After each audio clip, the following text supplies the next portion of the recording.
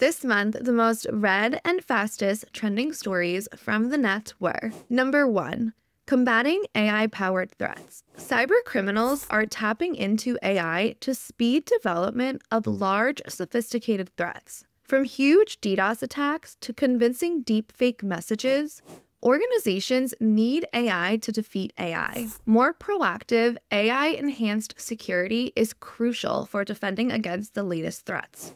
Number two, boosting government efficiency with AI agents. Government agencies are eager to adopt AI agents to address today's strict mandates to streamline operations and cut cost. Preparing for technical change and implementing guardrails will be critical for maximizing gains and addressing serious security risk. Number three, post quantum game plan. Attackers are poised to use quantum computing to break today's cryptographic systems, and they're already harvesting data. To future proof organizations, tech leaders need to build a game plan for post quantum cryptography now. These and more top stories are now downloadable. Explore trends, peer perspectives, and strategies at cloudflare.com slash the-net.